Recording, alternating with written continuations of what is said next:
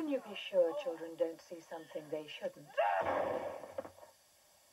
Had to get involved, didn't you?